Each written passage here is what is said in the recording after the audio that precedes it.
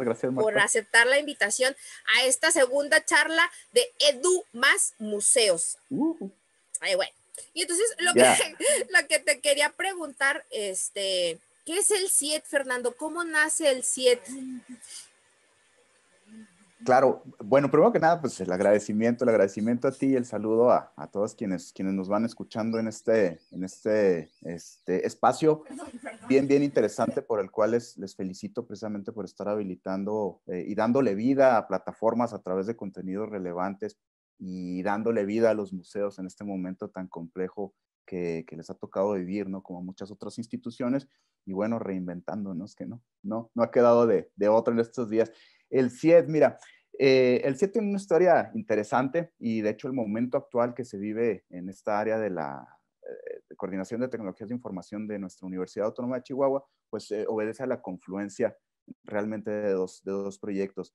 En primera instancia, un proyecto previo que se, que se lanzó precisamente desde el área de tecnologías, en donde se tuvo la oportunidad de integrar un equipo multidisciplinario con características muy, muy interesantes.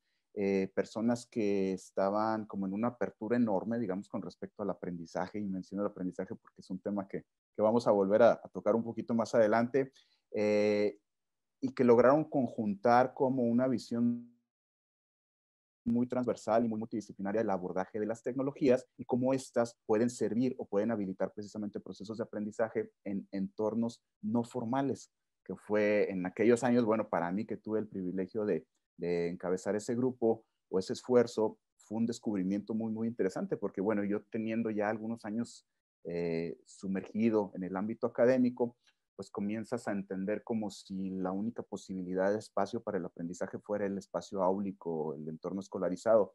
Bueno, resulta que no, resulta que cuando comienzas a entrar en contacto con estos conceptos propios del ámbito de la, de la innovación educativa, pues te das cuenta de que potencialmente cualquier entorno, cualquier espacio puede fungir como una plataforma para habilitar procesos profundos de aprendizaje o procesos de aprendizaje profundo, ¿no? Para decirlo más correctamente.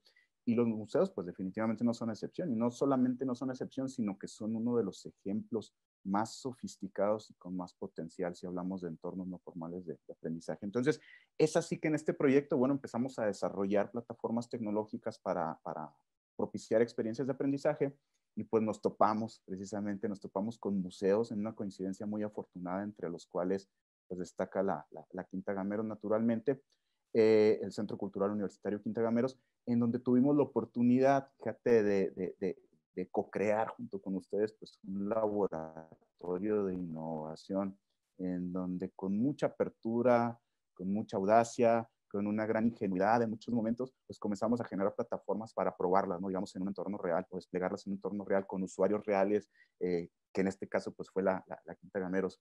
Eh, este fue el primer contacto, Marta, con, con, en lo particular y creo que institucionalmente, con, con la innovación aplicada a entornos donde el principal insumo o el principal ingrediente, pues precisamente es la, la creatividad a través del arte, ¿no? A través de estas disciplinas, en este caso a través del arte, y pues para nosotros fue un descubrimiento enorme que luego ya después fue evolucionando hacia esta otra vertiente que actualmente eh, desplegamos desde el Centro de Innovación y Emprendimiento Tecnológico en vinculación con el Instituto Cultural Municipio, que es fomentar la creación de nuevos emprendimientos, industrias, iniciativas vinculadas a las artes y la cultura, ¿no? Pero con un eh, enfoque, digamos, de profesionalización, de cómo hacerlo más ágil, de cómo hacerlos más este, prácticos y cómo generar resultados, digamos, que puedan ser también más atractivos para las audiencias, que a su vez se tornan también cada vez más sofisticadas, ¿no?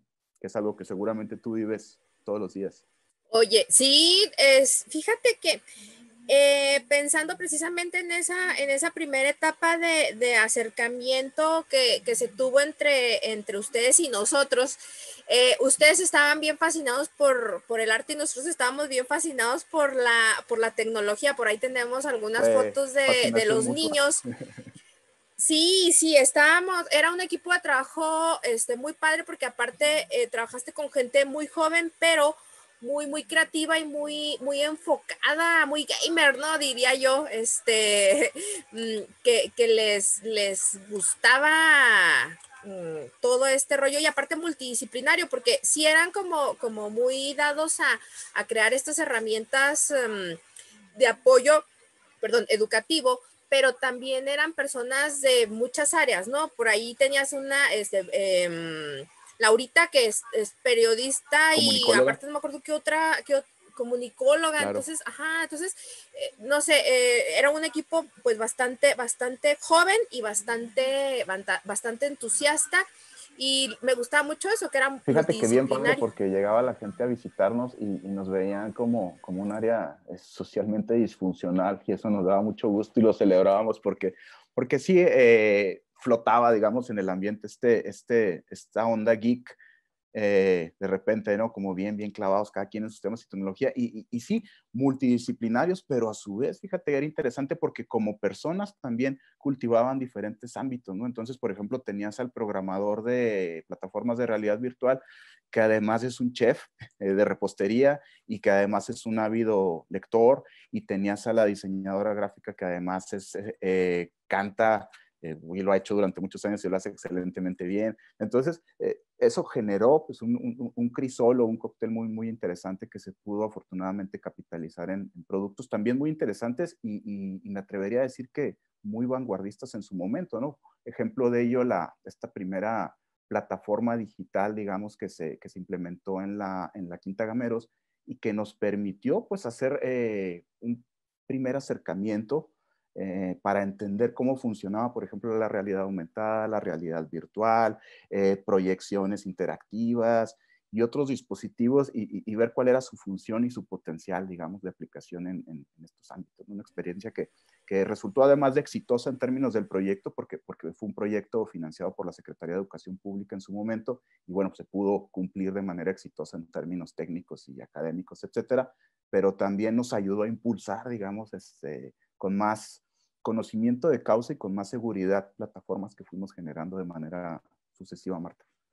Creo que fue un antecedente perfecto. ¿Por qué? Porque si bien, por ejemplo, los dispositivos pues van evolucionando y van, y van caducando también como tales, eh, en, en, su momento, de hecho ahí los códigos QR siguen y todavía digamos que si en un momento se puede echar a andar el, el proyecto, se podría porque ahí está todavía vigente y la información está presente. El problema que tuvimos nosotros fue la, mm, digamos que caducaron estos, estos dispositivos, pero bueno, eso sería como harina de otro costal. Sin embargo, lo que iba es que eh, cuando pudimos echarlo a andar, que lo pilotamos el, el, el, este, la, la, aplicación, la pilotamos, pero con niños, y los niños estaban fascinados y se supone que no era para niños, ¿no? Y los niños lo adoraban, o sea, les encantaba que ponían eh, la tableta y salía el video y podían ver información, ¿no? Entonces, creo que fue un antecedente bastante interesante y, que, y, decía yo que perfecto porque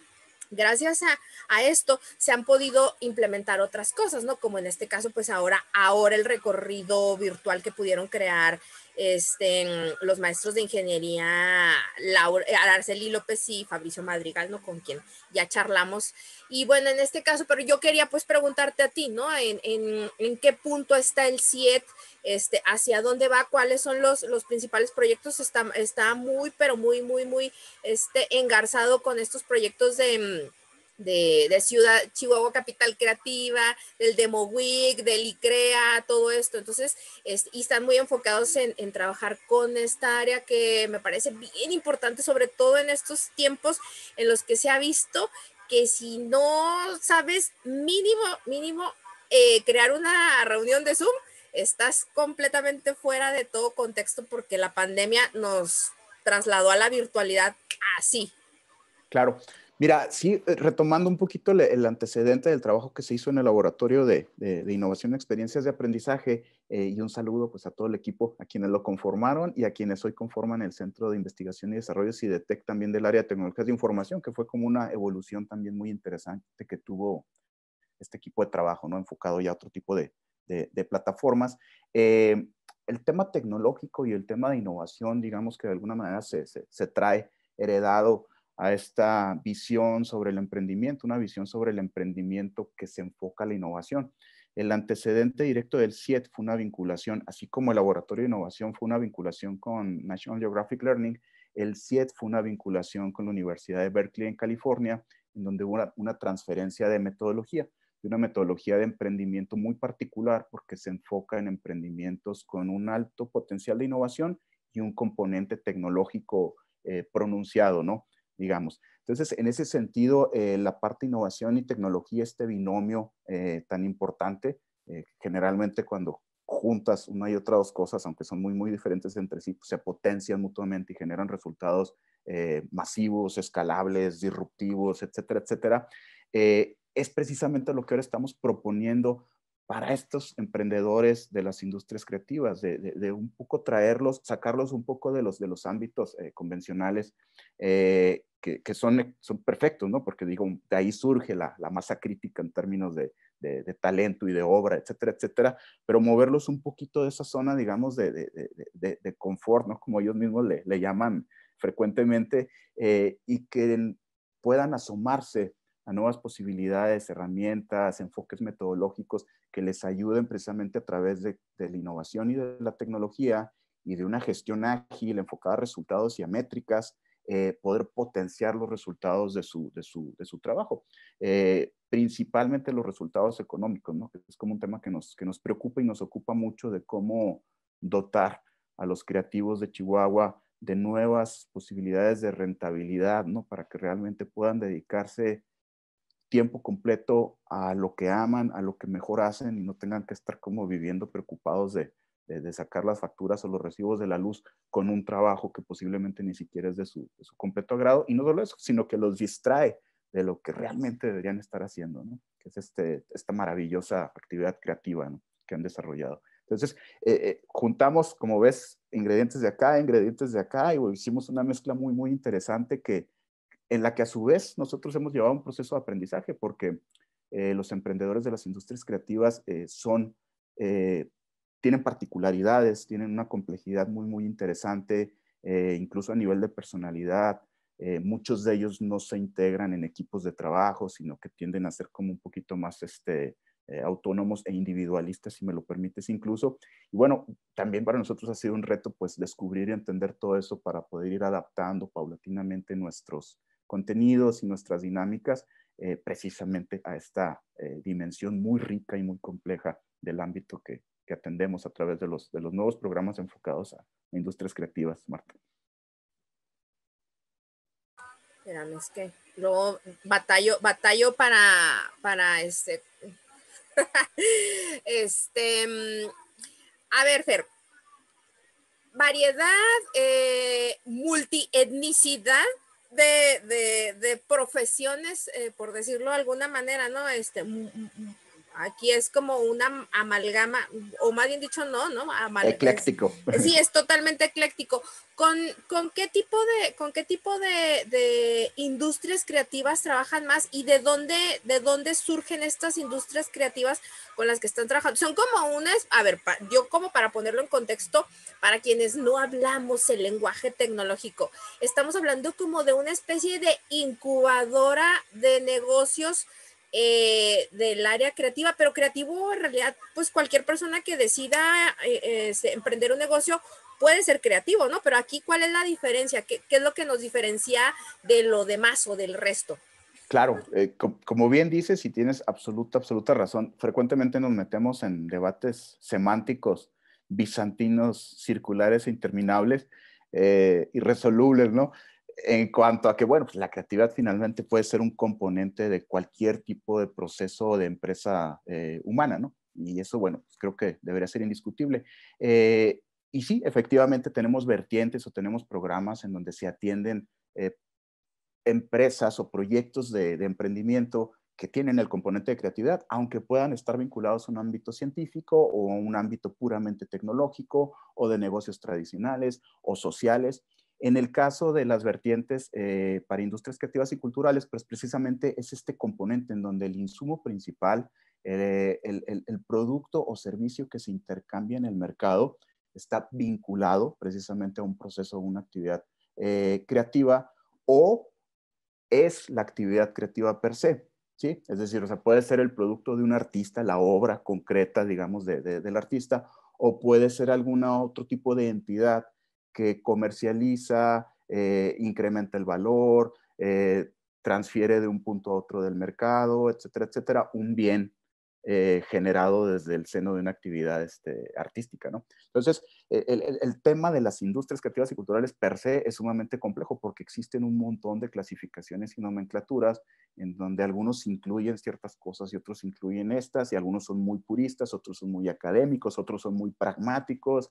Entonces, eh, parte del reto reciente en el que estamos involucrados, y bueno, tú también estás participando de manera muy activa, es tratar de identificar nuestra propia clasificación de industrias creativas y culturales a través de ejercicios de diagnósticos, de mapeos que nos permita pues conocer y entender ¿no? cómo está integrado y cómo está interrelacionado los actores, y no solamente los actores individuales, que es un tipo de personas la que atendemos, sino las entidades colectivas, ¿no?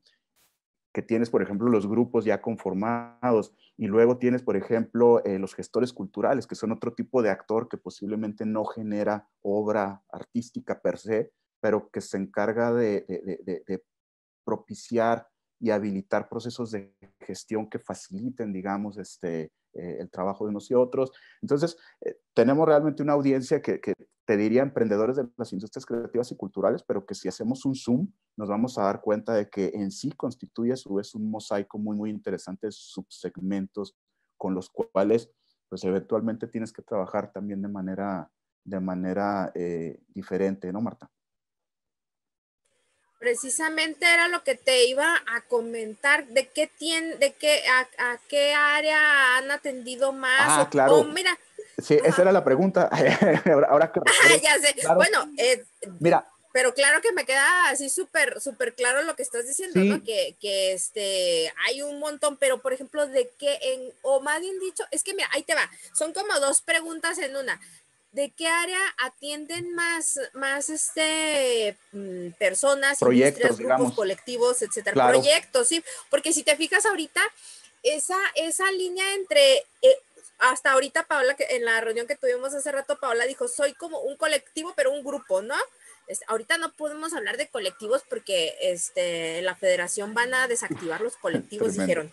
Y, Le cambiaremos de nombre. Pero, pero no, pero, ajá, pero fíjate, es que eso es, que eso, es lo que va pasando, ¿no? Con, con toda esta área creativa, que la gente mm, no entiende que cuando te cierran una puerta, siempre va a haber alguien que piensa en que por allá vas a abrir una ventana y no hay ni quien te pare, ¿no? Entonces, pero mi, mi pregunta era esta, ¿no? Este, em, ¿de qué área han atendido más? Y sobre todo, ¿qué áreas son como que las que tú notas más dispersas, más así como que, oh sí, este, soy muy creativo y, y creo un montón de cosas, pero no las capitalizo? ¿Qué áreas necesitan? Mira, es bien interesante. Partiríamos a lo mejor de la primera segmentación que hicimos de, de, de creadores artistas y luego colectivos y luego gestores culturales, ¿no?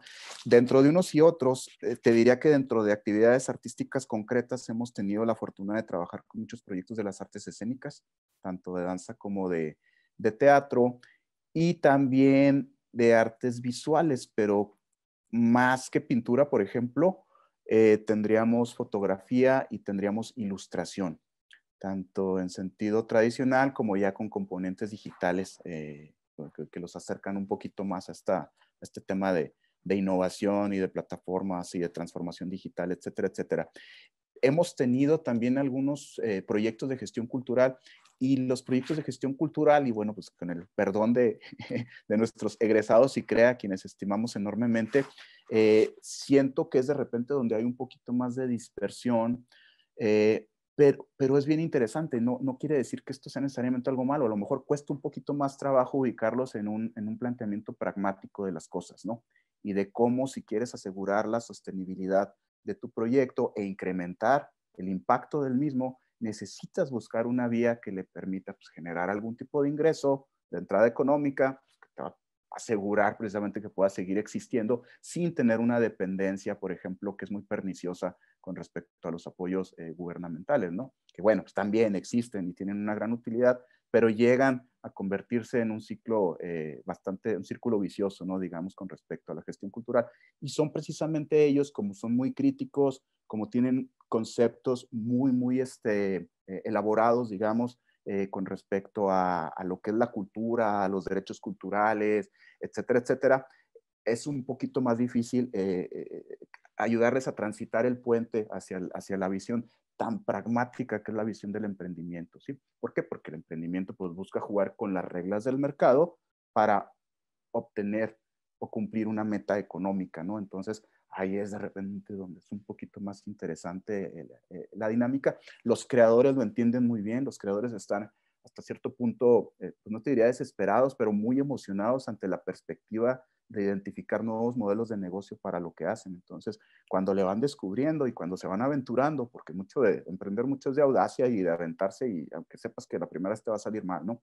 Eh, cuando lo van haciendo, se van convirtiendo en, en, mejores versiones de sí mismos. No, ya son excelentes versiones, pero más poderosos, más, más empoderados, con más herramientas, con más recursos, con más audacia, con más echadez hacia adelante, con habilidades para pararse y presentar su proyecto ante un empresario para pedirle algún tipo de, de, recurso, etcétera, etcétera. Entonces, eh, hay un cambio eh, muy, muy interesante que vemos en los creadores y que a lo mejor nos cuesta un poquito más de trabajo enfocar a quien, eh, lograr en quienes están enfocados a la gestión cultural.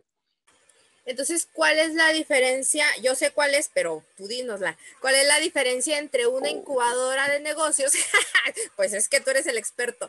Entre una incubadora de negocios y el CIET, por ejemplo. Claro, mira, eh, en términos estrictos, eh, los procesos de desarrollo o de creación de empresas tienen una serie de etapas, en donde la primera de ellas es una que en términos generales conocemos como validación, después tenemos la incubación, después tenemos la aceleración y después tenemos el escalamiento, ¿no? Entonces, diríamos que el CIET atiende a la primera etapa de los emprendimientos. Entonces, esto es muy bonito porque además de que nos eh, permite poner en contacto en muchas ocasiones por primera vez a las personas con estos conceptos que te empoderan enormemente en la, parte económica, eh, también vemos procesos de cambio personal muy bonitos, en donde realmente hay una reconfiguración del cableado interno y quienes al principio, por ejemplo, decían que eran sumamente introvertidos, eh, o que eran un poquito así como, como antisociales, eh, etcétera, se, se, van transformando y se van dando cuenta que tienen una serie de capacidades y de habilidades que solamente era cuestión de, de, de, comenzar a ejercitarlas, ¿no? De músculos un poquito laxos o flácidos que cuando comienzas eh, bajo, la, bajo una metodología rigurosa, ¿sí? A llevarlos en un proceso de, de perfeccionamiento, pues entraron unas personas y terminan siendo otras, ¿no? Entonces, en este sentido, el proceso que atendemos, que es la etapa más temprana, la de la validación, es muy bonito porque te permite crear emprendedores, no solamente que los creadores creen emprendimientos, sino crear al emprendedor, ¿sí? O ayudarlo a que se descubra, digamos, en todo su potencial emprendedor. Entonces, esta parte también es muy satisfactoria. Y si se hace bien, pues vas eh, cimentando con solidez las etapas subsecuentes del desarrollo de sus proyectos empresariales. O sea, tu, tu, frase no es he creado un monstruo, la tuya es he creado un emprendedor. He creado un emprendedor, sí. Más bien, pues, se crean a sí mismos, ¿no? Pero les, ayudamos mostrándoles como el camino y las herramientas, ¿no? Ustedes les, digamos que están en la parte de desarrollar ese potencial que traen ahí, este. Y supongo yo que también quien no tiene como esa habilidad eh, que, y que y supongo yo que determinará si quiere seguir adelante o no, que dice, bueno, sabes que esto no es lo mío, porque creo que no todas las personas, eh, eh, yo sí estoy este, consciente o, o sí tengo esa idea de que, de que no todos tendríamos que ser emprendedores, pero pienso yo, Fernando, a ver, ¿tú qué, tú qué opinas, no? Que, que estás como así en el ojo del huracán. ¿Qué tanta falta le hace a la educación y no nada más me refiero a la universitaria, nosotros porque pertenecemos a la universidad, pero no nada más a la universidad, a la, educación ya profesional, sino en todos los niveles. ¿Qué tanta falta nos hace que nos, que nos eh, pudieran meter de manera transversal en nuestros eh, contenidos educativos desde el kinder. Yo creo estas visiones de emprendimiento, de creatividad, de, de, búsqueda de, de posibilidades. Claro, bien, bien importante, absolutamente importante y, te voy a decir mi visión al menos de, por qué lo creo así. Eh, cuando hablamos de emprendimiento tendemos a imaginarnos automáticamente emprendimiento económico, pero realmente el emprendimiento es un superpoder humano eh, que se puede ejercer en cualquier ámbito en el que te desempeñes. Se habla, por ejemplo, de intraemprendimiento, que es la capacidad que tenemos, por ejemplo, tú, de generar cosas nuevas, ¿sí? De generar innovación en el seno de sus organizaciones, ¿sí? Y de movilizar recursos y de vincular instancias para que las cosas ocurran y de tener una enorme resiliencia para que cuando no ocurran, pues no sea este, un bajón permanente, ¿no? Sino que vas al rinconcito, te lames tus heridas y seguramente después vas a inventar otra cosa, ¿no? y cuando te cortan el presupuesto, en, términos, en términos, en términos este, burocráticos, porque nosotros pues somos funcionarios públicos, cuando te cortan el presupuesto y te dicen, ay, te lo reducimos este 85%, ok, con cinco pesos, ¿qué hago, no? Claro, claro. Presupuesto, equipo, infraestructura, oportunidades, acceso a personas, recursos, equipos, etcétera, todo eso te puede suponer retos, digamos, en el camino de, un proyecto de emprendimiento que puede, insisto, ser en términos económicos o al interior de cualquier proyecto u organización. Entonces, la capacidad emprendedora y el mindset o la mentalidad emprendedora, Marta, es, creo, súper transversal. Eh, debería inculcar a cualquier tipo de persona, incluso a aquellas que tienen la plena certeza de que, por ejemplo, el emprendimiento económico no es, no es lo suyo, que nos ocurre con una frecuencia enorme. Fíjate, eh, no me avergüenza decir que tenemos una tasa de deserción muy alta, de más del 50%, no nada más en nuestro programa de emprendimiento para, para eh, industrias creativas y culturales, sino en cualquier tipo de programa de emprendimiento y no nada más de nosotros. Existen tasas de deserción muy, muy importantes que son con naturales a este proceso de descubrir si es lo tuyo o no es lo tuyo meterte en este tipo de problemas, ¿sí? Porque el emprendedor pues también se mete en unas broncas enormes y, y la sufre. Por eso la resiliencia es tan importante, porque de que se sufre, se sufre de que se cometen errores, se cometen muchos errores y a veces algunos muy dolorosos, pero sobre esa eh, montaña de esqueletos y despojos humanos y lágrimas este, se va construyendo la escalera al éxito, ¿no? Entonces, sí ocurre, pero de todas maneras yo siempre le digo a todos, al que me toque, le digo, alguna vez en tu vida deberías cursar un programa de emprendimiento porque independientemente de que te vayas o no a dedicar a ello, te va a cambiar y te va a dar nuevas herramientas para enfrentar cualquier desafío que se te presente. ¿Ok? Hablando de cualquier momento de tu vida, a lo mejor este es un momento de nuestra vida porque estamos empezando el año. Entonces, eh, ¿de qué manera llegan eh, con ustedes las, los emprendedores? Em, es decir, que yo tengo una idea, ¿no? De, de, así como dices tú, de explorar mi, mi, mi, mi ser creativo. ¿Cómo hago yo? Ciudadano de ahí de a pie, como se dice, para llegar con ustedes y, que tomo un curso, este, presento un proyecto, ¿cómo, cómo, cómo llegan ustedes? ¿De, dónde reciben ustedes esos proyectos con los que están trabajando? Claro. Mira, tenemos, tenemos cuatro o cinco, incluso te diría vertientes de, de, trabajo. Eh, prácticamente todas ellas son de, acceso al público en general únicamente tenemos, eh, tenemos un programa que se llama Validatón, que es un programa express, digamos, de emprendimiento ágil de primer contacto para alumnos en semestres tempranos, digamos, en donde viven muy rápido como la experiencia de emprender y, este, y luego ya ven si les emociona o no seguirle por ahí. Ese, ese lo enfocamos, a, lo diseñamos para alumnos. Precisamente este año debutó eh, con un programa en la Facultad de Ciencias Químicas, tuvimos resultados bien interesantes, Tenemos el programa de validación de ideas de negocio, que es nuestro programa insignia, digamos, de emprendimiento, eh, enfocado en proyectos de todo tipo, pero que tengan eh, un componente al menos potencialmente innovador, ¿sí? Habilitado por tecnología. Buscamos como eso eh, y tenemos el programa ICREA, que es enfocado ahí sí y se ah, administra, digamos, o se gestiona a través del, del, Instituto de Cultura del municipio, en donde sí tenemos un poquito más focalizado hacia emprendedores que estén vinculados a la creación artística o a la gestión eh, cultural.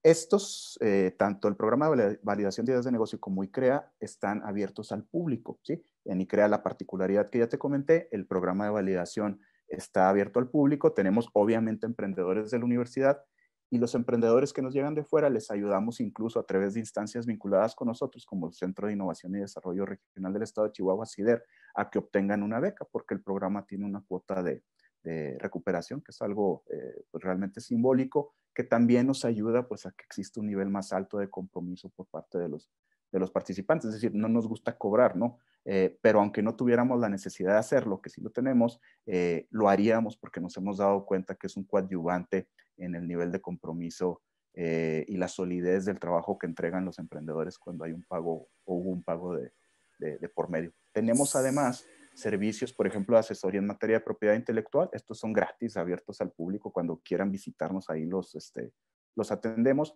Y tenemos además algunos procesos de mentoría con egresados de los programas que siguen en contacto con nosotros y que nos siguen pidiendo como un acompañamiento este, ya más informal, digamos, eh, pero que seguimos ahí conviviendo conmigo. Tenemos una comunidad de emprendedores, un chat a través de, de, WhatsApp en donde pues nos dedicamos a invitar precisamente a emprendedores, ahí sí de chile, manteca y de, no me acuerdo qué sabor me faltó, de mole y de manteca, ¿no? Chile de mole y de manteca, eh, a que estén ahí porque... O de dulce, no sé. O de dulce.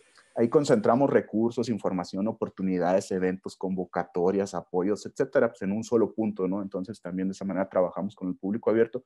Te diría, no sé cómo se pueden agregar a un WhatsApp, cómo decirte cómo se agreguen, pero, pero después te paso la información y a lo mejor se puede colgar ahí del post. Con un link, eh, si, son, si son grupos de difusión, este, los grupos abajo siempre tienen un link de enlace este, donde viene... Sí, pero te lo paso ahorita. Me, refiero a que no sé cómo te lo pase.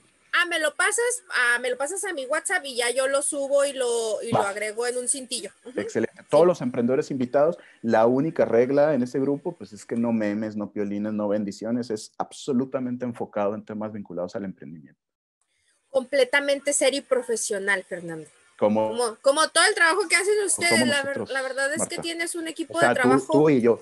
Sí, claro, nosotros sí, por, muy colorida que me, refería. soy muy colorida, pero, pero es que así mi personalidad es colorida, entonces, pero yo ¿Y organizada? sí, pues, pues, sí, mira, si no, no, hay de otra. Oye, este, ¿cuánta, cuánta, gente tienes ahorita? ¿Cuánta gente conforma tu equipo de trabajo, Fer? Es una pregunta muy bonita porque eh, el emprendimiento es un gremio muy colaborativo. Eh, es un gremio en donde si algo lo caracteriza es la sinergia precisamente entre quienes los, lo, integran. Y es un gremio que está constituido a manera de ecosistema, ¿sí? Un ecosistema está integrado a su vez por una serie de actores que están vinculados por una causa común, que en este caso es el emprendimiento, y nosotros operamos como parte de la red Chihuahua Emprende, que agrupa a 60, si no es que ya más, organismos dentro de la ciudad de Chihuahua que están relacionados con el emprendimiento. Entonces, para responder a tu pregunta, el equipo nuclear, digamos, de la oficina del Centro de Innovación y Emprendimiento, somos seis personas. Hay dos instructores más que son eh, sumamente generosos con su tiempo y sus conocimientos, la maestra Adriana y el maestro Aarón de la Facultad de Ciencias Agrotecnológicas, que cada vez que hacemos el programa contribuyen con nosotros impartiendo módulos, dinámicas y actividades. Y además tenemos como un entorno extendido de especialistas que generalmente estamos invitando a que brinden los talleres de los programas que forman parte del ecosistema de innovación y emprendimiento de Chihuahua, o sea, esta red emprende.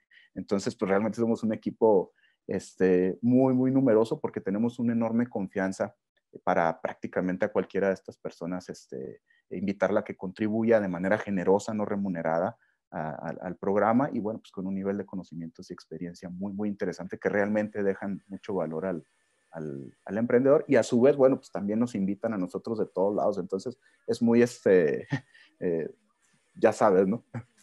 en todos los sentidos. Oye, ahorita que dices, dices dos cosas bien bonitas, este, de manera no remunerada y gente que va, eh, generosamente aporta su tiempo y su esfuerzo, ¿no? ¿Qué tan importante es, Fernando, que cualquier profesionista ya en ejercicio, digamos exitoso, eh, con exitoso me refiero a hacer lo que te gusta y lo que quieres. Yo nunca hablo en, sentido económico porque me parece que el éxito de una persona debería radicar en que este, esté haciendo lo que, lo que de verdad le nace, lo que le gusta, para lo que es, para lo que nació, ¿no? Porque creo que todos tenemos por ahí una vocación que va más allá de la profesión que desarrollas o, o de la carrera que cursaste. Tiene que ver con lo que tú haces, ¿no? Y con lo que te hace lo que tú eres. Parece medio, medio complicado, medio filosófico, pero así soy yo. Entonces, me parece que en, esa medida este, trabajamos el concepto de éxito, ¿no? Que a lo mejor puede ser para muchos, pues, no sé, como muy filosófico y me gusta. Entonces, em, ¿en qué medida los profesionistas exitosos que están haciendo lo que quieren y lo que les gusta, para lo que son buenos, deberían de comprometerse en este tipo de en este tipo de proyectos para que las generaciones que vienen o no las generaciones que vienen sino los emprendedores que nacen cada día porque puede ser un emprendedor de 15 años y puede ser un emprendedor de 70 o sea eso es lo de menos. Creo que nosotros lo entendemos nosotros que estamos como en esta área este tú estás en una estás como en eh, eres una especie en transición. Tú serías como el ornitorrinco Fer yo sí estoy muy enfocada al área cultural, pero tú eres como un ornitorrinco, porque este es tú, tú te involucras mucho en, en, el área cultural, pero lo tuyo, lo tuyo es como lo tecnológico, ¿no?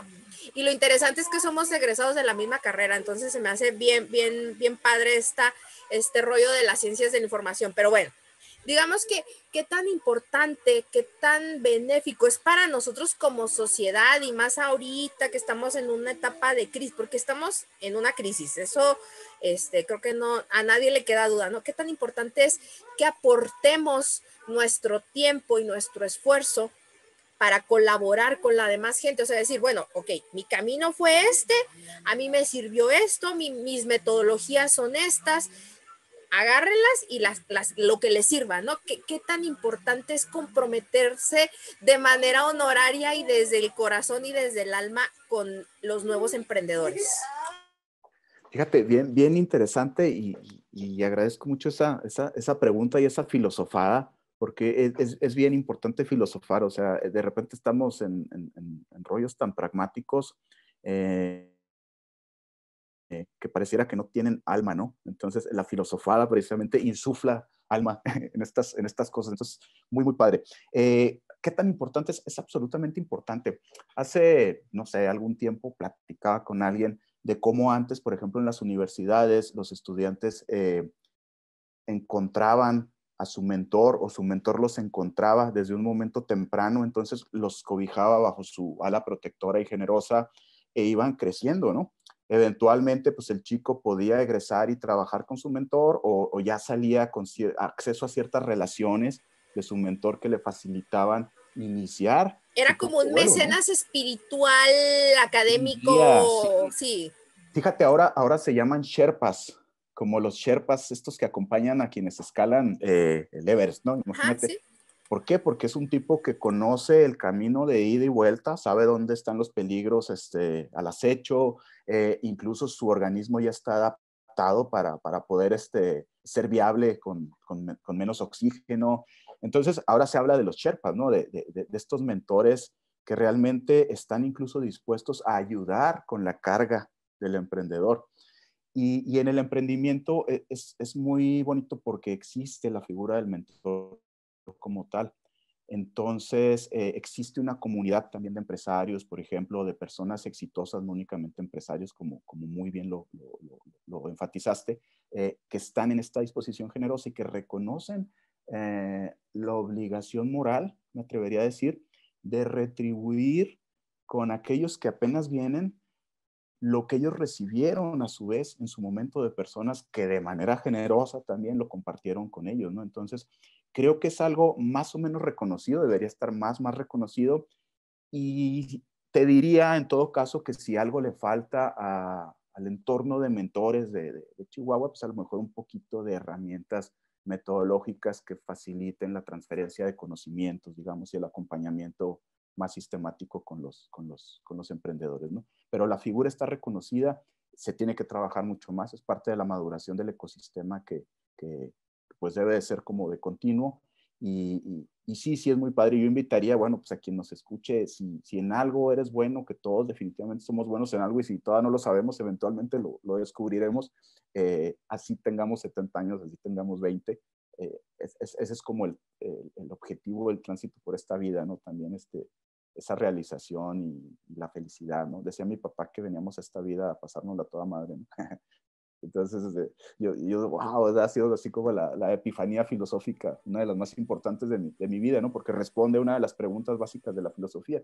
Pero bueno, el punto es invitar a todos a que si tienen una manera de contribuir con alguien que está en su ámbito, en su espacio, pues lo hagan, o sea, no les quitan mucho tiempo y otra vez hemos hablado mucho del salario emocional en estos días eh, la retribución emocional que van a obtener a partir de ello, pues es, enorme. Al rato van a, el, el, mentor es el que ya no quiere soltar al mentorando, ¿no? Porque le da tanto este, que, se convierte en una pieza importante de su, de su vida, ¿no?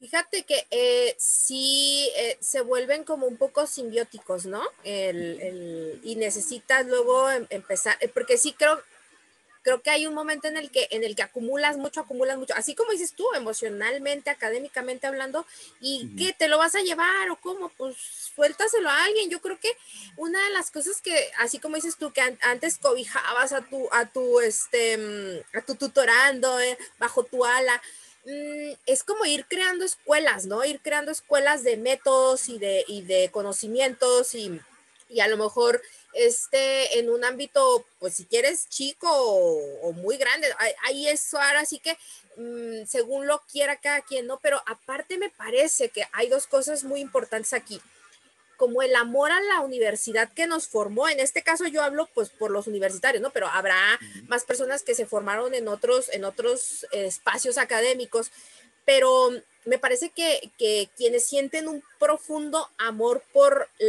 por su alma mater, por, por, por la, la, la, escuela que los formó académicamente o profesionalmente, pues es como una forma de, de agradecérselo, ¿no? Eso es por un lado. Y por otro lado, Fer, ¿cómo en estos momentos necesitamos que a todos nos vaya bien? Eh, cuando hay recesión económica, pues tú sabes que lo que pasa es que no es que a lo mejor no haya dinero, sino que la gente se vuelve demasiado precavida con su dinero y no lo quiere gastar porque no sabe si más adelante va a haber. Eso es lo que más o menos define a grandes rasgos una recesión económica, ¿no? Que la gente no está gastando su dinero. Necesitamos que haya movimiento de dinero, pues para, para que haya crecimiento económico. En el caso del conocimiento y de, y de estas herramientas que tú manejas que pueden parecer bastante abstractas, también necesitamos que se muevan, necesitamos que a la gente le vaya bien para que a todos nos vaya bien. No es como, Aquí no es como, no, no, no, este, voy a encerrar mi conocimiento para que no se gaste. Pues no, el conocimiento ahí encerradito se gasta. El cerebro que no se usa se atrofia. Entonces yo creo que me parece a mí que la enseñanza, una de las enseñanzas más bonitas que nos pueden dejar eh, eh, programas como el que desarrollan ahí en el 7SS, ¿no? Que, que, la gente está como tan ávida de, de, de, de de generar cosas que lo que hacen es este mm, pues regalarlo, regalarlo digo entre comillas, ¿no? Eh, me refiero a compartir generosamente este conocimiento que tienen, ¿no? Creo que el, el, conocimiento se multiplica cuando lo compartes. Claro, claro, es, es, es, una plantita que no puedes tener bajo la sombra, que tiene que estar al sol, este, para que realmente pueda, pueda florecer y dar sus, sus frutos, ¿no? Y, este, y, coincido totalmente contigo. Hay buenas, hay buenas señales este, hacia el futuro. Se habla, por ejemplo, ya de un capitalismo consciente. Eh, cada vez escuchamos que hay más empresas socialmente responsables.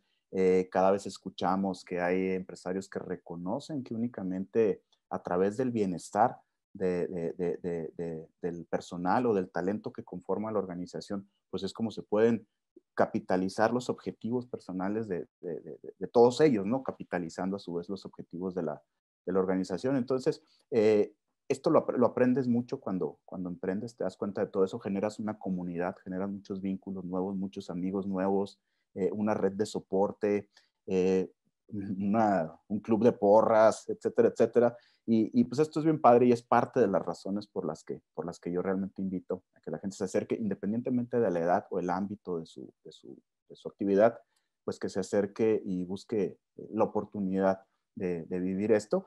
No, no, quita nada y sí este, es muy probable que, que se lleven algo de valor para su vida. Ya para finalizar, Fer, mi última pregunta, porque la tengo que hacer, ¿verdad? Porque es como, este, oh God. no, no, te va a gustar, vas a ver, te va a gustar. Este, no, la tengo que hacer, digo, porque es, es como, como a final de cuentas, mmm, ¿cómo te puedo decir? Pues con lo que quiero cerrar, porque me parece importante en estos tiempos. Los museos están cerrados desde hace nueve meses. Tenemos desde marzo cuando se dio el anuncio, este, creo que lo que nos, nos convocó a cerrar fue el anuncio del secretario de Educación, que los niños se van a la casa y los museos pues también cierran, ¿no? Porque a final de cuentas somos una, un ente educativo y en el caso de la Quinta Gameros y el Poliforum Cultural, pues aparte somos parte de una institución educativa. Entonces, ¿tú qué crees que le hace, tú como hombre de la tecnología, ¿no? Como el geek que eres, así de corazón puro, que es súper fan de Star Wars. este, sí, es que estoy viendo tu, tu, tu póster atrás. Este, ¿qué crees que les esté o que les pueda hacer falta o que les dé el plus a los museos, al menos en, en la ciudad de Chihuahua, para, para pervivir en esta virtualidad? Uf, qué pregunta. Con razón te la estaba reservando para el final. Mira, creo que este proceso por el que todos hemos atravesado y algunos eh, transitado con más problemas y más este, uh, sufrimiento que otros, mmm, lo vamos a ver un poco en retrospectiva como si hubiera sido un parto ciertamente doloroso, pero cuyo producto ya no vamos a querer abandonar o soltar. Eh, creo que estamos viéndonos forzados desde nuestros respectivos ámbitos a generar cosas que de otra suerte no hubiéramos generado, porque estábamos instalados en cierto espacio de comodidad donde las cosas funcionaban relativamente bien y el grado de innovación o de autoinnovación que teníamos o el ritmo era como incremental, en, en incrementos muy pequeñitos, ¿sí? Entonces íbamos haciendo como una suerte de mejora continua, si mucho, sobre lo que ya hacíamos y de repente le agregábamos cositas y de repente llega esta situación donde nos pone abruptamente ante un panorama totalmente inédito, sin posibilidad de echar marcha atrás y nos obligó ya no a hacer innovacióncita incremental, sino a hacer prácticamente procesos de disrupción en nuestras actividades. Y son tan interesantes, tan bonitos y ya tan validados los productos e iniciativas que se han estado generando, por ejemplo, en los museos, que yo creo firmemente que si las cosas volvieran a la anterior normalidad, de todas maneras vamos a seguir haciendo plataformas, vamos a seguir haciendo formación a través de webinars, vamos a seguir haciendo talleres en línea, vamos a seguir pensando en aplicaciones. Y entonces, retomando tu pregunta, creo que la oportunidad de la transformación digital para nuestras eh, instancias eh, es muy clara. Eh, creo que muchos entornos la han asumido y la han estado operando con, un este, relativo grado de éxito. Eh, los museos, hay casos, obviamente hay prácticas ya muy interesantes eh, que se están materializando eh, y que nos van a ayudar precisamente pues a que al final del, no me gusta decir al final del día porque es como robada, de, como, como un barbarismo muy feo, ¿no? Pero bueno, al final de todo esto, si es que tiene final, pues nos vamos a dar cuenta de que solamente nos ayudó a conectar con nuevas audiencias, a conocerlas mejor, a extender el beneficio y el valor de los servicios que, que, tenemos y a, y a, haber sacado de los muros, ¿sí? Realmente sacado el museo de los muros, ¿no? Y, y haberlo proyectado y posicionado en ámbitos en los que eh, de otra suerte hubiera sido simple, simplemente imposible eh, llegar, ¿no? Entonces, esa parte se me hace muy bonita, siento que, que, que hay ya muy buenas prácticas Siento que en Chihuahua, en la Quinta Gameros, en otros entornos, se está explorando en la dirección correcta sobre cómo, cómo eh, llevar a cabo esta transformación digital. Y bueno, pues mi consejo sería seguirlo haciendo y hacerlo sin miedo e incrementar eh, el grado de riesgo de las cosas que se están haciendo. El ámbito digital es muy noble en el sentido de que los errores no son tan costosos. En lo presencial es muy costoso hacer una cosa enorme, construirla con hormigón y armado de acero, para darte cuenta de que, absolutamente nadie la va a utilizar. En el ámbito digital haces y deshaces con una enorme facilidad, entonces eso te da también esa eh, inyección adicional, digamos, de combustible creativo para asumir riesgos y decir, Ingesu, vamos a probar esto y ahora hacemos estos webinars y ahora hacemos estas charlas y ahí vamos sobre la marcha. Creo que, creo que va bien. Yo soy muy optimista. Eh, sé que las cosas que han pasado son muy feas en muchos, muchos sentidos y muchas de sus expresiones, pero, pero en general creo que es un renacimiento chiquito que estamos teniendo como humanidad. Entonces hay que aprovecharlo este, para que no se nos vaya ese tren, ¿no? Muchas gracias por, por haber aceptado esta, esta invitación. Pues es la segunda charla de, del año de esta serie de Edu Más Museos y pues vamos a seguir trayendo por aquí este, más gente relacionada con el mundo de la educación, de la innovación y de la tecnología. Muchas gracias. Gracias, Marta. Gracias a la institución que representas y eh, un saludo a toda la audiencia. Los invitamos a que se conecten con nosotros a través de, nuestra, de nuestro Facebook, que es Watch. Está muy facilito. Bueno, pues un saludo a todos los equipos, tanto de CIET como de Instituto de Cultura del municipio y naturalmente pues de la Quinta Gameros, que ya tenemos ganas de regresar.